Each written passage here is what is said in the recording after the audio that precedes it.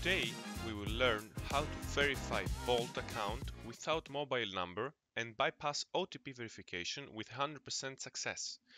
The tutorial is perfect if you need to create your first Bolt account but you don't have a phone number, a secondary Bolt account for your business or maybe an anonymous account for Bolt. The tutorial is really short so follow the video until the end. Be attentive and do the steps like me. The method works 100%. First, you download the application. When you start the application and the sign up process, it asks you for a number. The secret to create a Bolt account quickly without phone number is to use the website getsms.one. It's the best site for cheap temporary numbers. To order your phone number on getsms.one is very easy. You create an account, you top up a bit of money, you choose a country, in this case I'll choose Spain.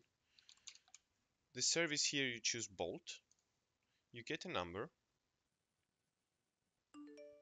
and you type this number to the application.